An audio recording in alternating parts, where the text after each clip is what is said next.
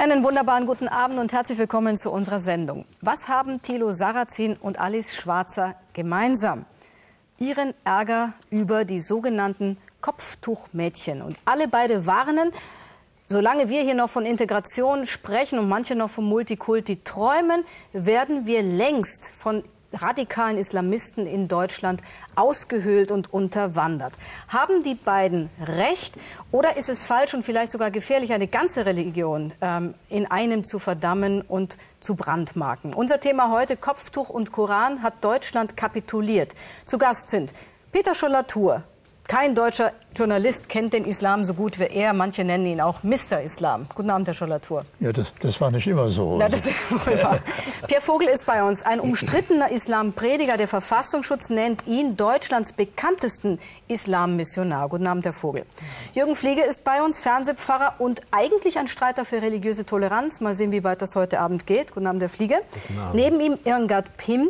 Sie ist muslimische Soziologin und möchte nicht mit Radikalen in einen Topf geworfen werden. Guten Abend, Frau Pin. Guten Tag. Udo Ulfkutter ist bei uns. Er ist Publizist und einer der schärfsten Islamkritiker. Er ist für die Ausweisung aller Muslime, die in Deutschland arbeitslos sind. Guten Abend, Herr Ulfkotte. Guten Abend. Und später kommt noch zu uns Nurik Abfeld. Sie wurde vor 17 Jahren Zeugin des Ehrenmords an ihrer eigenen Schwester.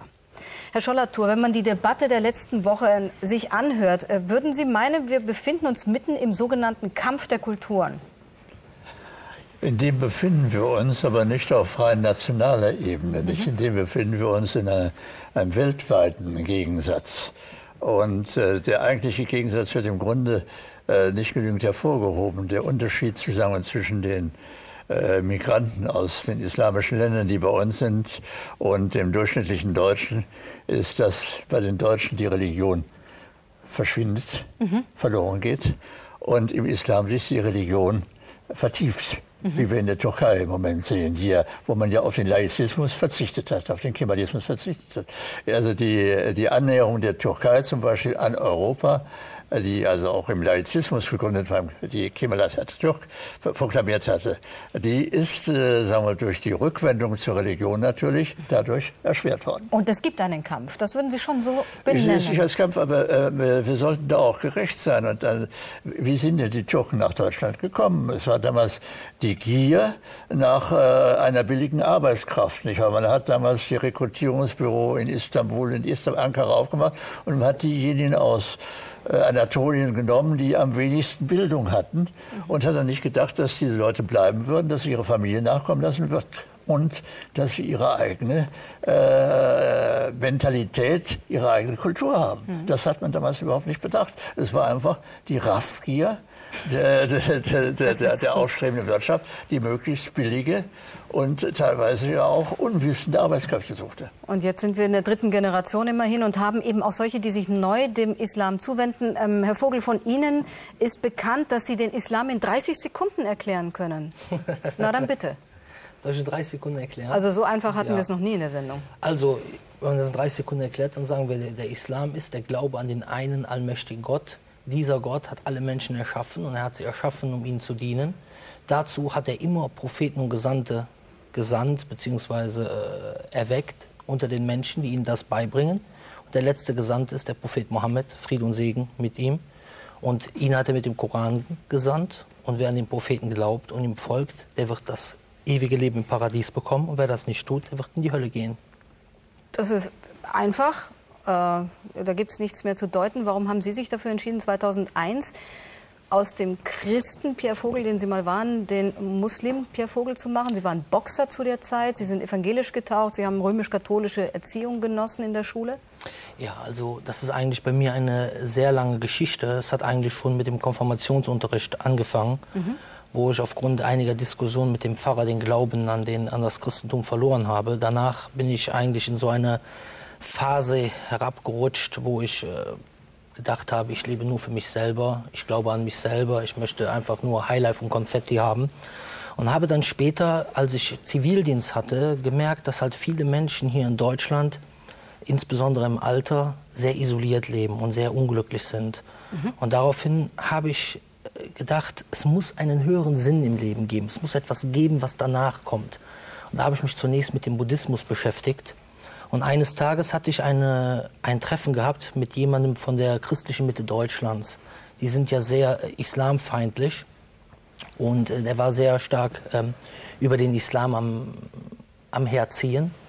Und ich habe mich einfach mit ihm unterhalten. Ich war halt tolerant, ich hatte halt viele Freunde und ich wollte mich halt danach einfach mal damit beschäftigen. Als ich von diesem Treffen nach Hause kam, hatte meine Schwester eine Übersetzung der Bedeutung des Korans zu Hause. Und daraufhin habe ich mir das Buch durchgelesen. Und was mich halt einfach gepackt hat, ist diese perfekte Beschreibung von Gott, mhm. die man meiner Meinung nach in keinem anderen heiligen Buch findet. Mhm. Und auch, dass äh, der Islam logische Antworten und Beweise dafür gibt, dass er der wahre Weg ist. Obwohl es natürlich am Anfang für mich auch viele Fragezeichen gab. Neben Ihnen sitzt ein Ungläubiger oder ist das jetzt nicht so, dass Sie Christen Ungläubige nennen? Also ungläubig ist eigentlich die falsche Übersetzung für das Wort Kafir. Weil ungläubig würde man eigentlich im Arabischen sagen, ähm, Rehr Musaddiq oder auf diese Art und Weise. Habe ich jetzt weil nicht verstanden? Rehr Musaddiq, so. das würde sein, jemand, der an nichts glaubt oder Mulhid. Ja, weil Kafir bedeutet eigentlich, kommt linguistisch davon, etwas zu verdecken. Mhm. Deswegen bevorzuge ich das Wort nicht-Muslim. Weil also, ungläubig als ungläubig versteht man in Deutschland weil bei der Überse also ich habe Übersetzungsstudien etwas studiert Sie haben ganz am Anfang. Studiert, ja. Nee, nee, als ich an der Uni also, Bonn gewesen bin und äh, ja. man versucht eigentlich immer Wörter so zu übersetzen, dass die Menschen das auch richtig verstehen. In Deutschland unter Ungläubigen versteht man jemanden, der an nichts glaubt. Aber ein Christ ist nicht jemand, der an nichts glaubt. Das ist wohl wahr. Herr Ulfkotte, ja. ähm, da sitzt ein junger Mann, der vor allem im Internet eine sehr, sehr große Gemeinde hat bei jungen Menschen ähm, und der eben Werte vermittelt. Haben Sie was dagegen? Ich habe überhaupt nichts dagegen, dass Werte vermittelt werden. Aber wir haben ein, ein gefestigtes Wertegefüge in Europa in der Vergangenheit gehabt. Das haben wir jetzt nicht mehr. Und da haut leider in, seit mehreren Jahren voll der Islam rein. Und ich habe etwas gegen das islamische Wertegefüge. Äh, also grundsätzlich überhaupt nichts gegen Werte, aber ich mhm. bin fest davon überzeugt, dass das islamische Wertegefüge nicht nach Europa nicht zu uns passt, dass es einfach nicht kompatibel ist mit unserem Kulturkreis hier, dass es nicht nur Reibung auf Dauer geben wird, sondern dass es zu schweren Auseinandersetzungen führen wird. Die einen sprechen vom Krieg oder Kampf der Kulturen, äh, andere sehen es noch drastischer. Äh, also es wird auf Dauer nicht friedfertig äh, ausgehen. Sagen Sie. Behaupte ich, ja. Es gibt einen, einen Punkt, an dem man es vielleicht jedenfalls verbal schon sehen kann. Äh, der Verein, äh, dem auch Sie eben angehören, Einladung zum Paradies, möchte in Mönchengladbach eine Islamschule eröffnen. Der Verfassungsschutz beobachtet diesen Verein und die Bürger in Mönchengladbach beobachten diese Islamschule und es regt sich der Widerstand. Wir werden mit aller Konsequenz und mit allen gesetzlich zur Verfügung stehenden Mitteln den Versuch unternehmen, die Gründung dieses islamistischen Zentrums hier in Gladbach äh, zu verhindern. Ich habe auch irgendwie ziemlich Angst, dass das auch irgendwie tierisch in die Hose gehen sollte und eventuell hier in Mönchengladbach auch eine Bombe hochgehen könnte oder so. Mönchengladbach, eine Stadt in Angst vor dem Islam. Und das nur, weil hier eine Islamschule entstehen soll. Einladung zum Paradies heißt der muslimische Verein, der dahinter steht. Der führende Kopf ist Pierre Vogel, der Superstar einer neuen islamischen Frömmigkeit, wie die Zeit ihn nennt. Der Islammissionar und seine Mitstreiter sind für eine strenge Auslegung des Koran. Kopftuch ja, Sex vor der Ehe nein, keine Gleichstellung von Mann und Frau. Die radikalen Muslime ächten die freie, pervertierte und verdorbene westliche Welt. Sätze wie ganz Deutschland soll sich dem Islam unterwerfen, werden Vogel nachgesagt. Der Verfassungsschutz Schleswig-Holstein zitiert ihn mit den Worten, dass am jüngsten Tag keine Religion angenommen werde außer dem Islam. Wir wünschen jedem das Beste und das Beste ist, dass er den Islam annimmt, denn ansonsten wird er für Ewigkeit in die Hölle gehen. Herr Vogel, haben Sie, äh, wundern Sie sich, dass die Leute in Mönchengladbach ähm, eigentlich keine Islamschule da haben wollen, wo viele in die Hölle dann gehen, nach Ihrer Definition?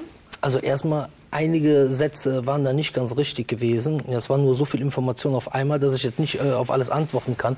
Aber ich wundere mich nicht darüber, dass die uns nicht haben wollen, weil womit hat das eigentlich angefangen? Es fing damit an, dass RTL einen Bericht gemacht hat, wo sie gesagt haben, in dieser Schule sollen Kinder zu Terroristen ausgebildet werden. Dies fürchtet der Verfassungsschutz. Mhm. So, dass daraufhin, ja, das, das, spielte ja. darauf an, dass Sie ja auch Kontakt ja, hatten zu der sogenannten Sauerland. Also das ist erstmal, das ist erstmal, die einen Anschlag geplant erstmal, hatte. erstmal das ist der größte Quatsch. Was ich erstmal sagen will, ob ich die kenne oder nicht kenne, das ist eine andere Sache. Aber, Aber ich, möchte, ja. ich möchte die Sache mal äh, klarstellen. Mhm. Heute noch habe ich eine E-Mail bekommen und es gibt keinen Menschen, der so gegen islamischen Terrorismus gekämpft hat wie ich. Mhm. Ich habe Morddrohungen von den Leuten, die das propagieren, weil wir können nicht sagen, dass es keine Leute gibt, die das so sehen. Was den Fritz Gelowitsch angeht, Fritz Gelowitsch von der Sauerlandgruppe. Ja. Ich habe ihn im Jahre 2005 oder 2006 in Mekka getroffen.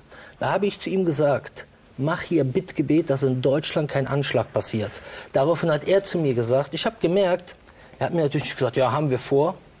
Und daraufhin habe ich gemerkt, dass er irgendwie einen enttäuschten Eindruck macht, dass ich ihm so antworte. Und dann meinte er, wenn die Deutsch, wenn wir, wenn, wenn Muslime keinen Anschlag machen, dann werden die bestimmt selber einen Anschlag machen, um das den Muslimen in die Schuhe zu schieben. Daraufhin meinte ich zu ihm, wenn das so ist, dann kann es ja nicht gut sein, wenn Muslime einen Anschlag machen. Also mach Dua, Bittgebet, dass das nicht passiert. Naja, der Verfassungsschutz beobachtet äh, den Verein tatsächlich. Die ja. nordrhein-westfälische Landesregierung, das ist die Meldung von heute, ja.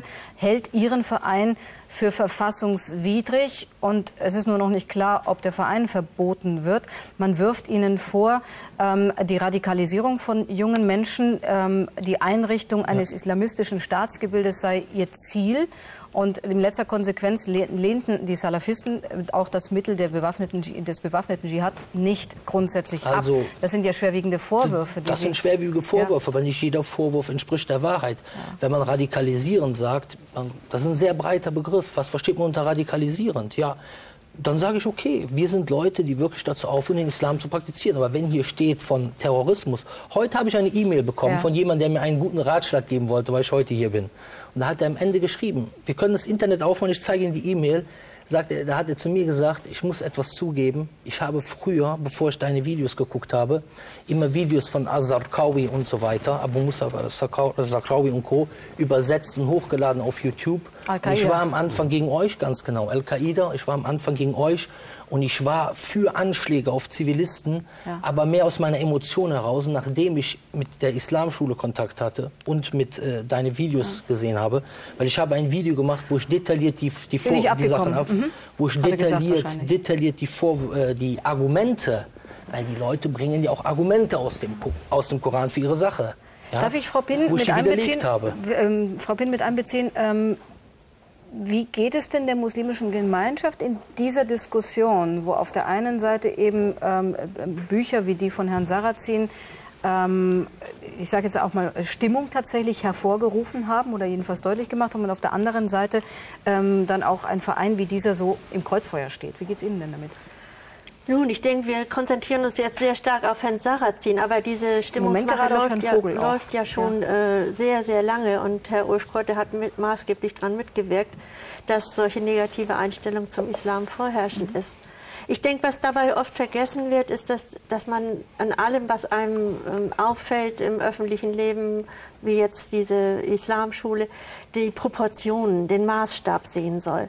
Und ich habe sicherlich manche Differenzen mit Herrn, Herrn Vogel. Und, äh, Haben Sie?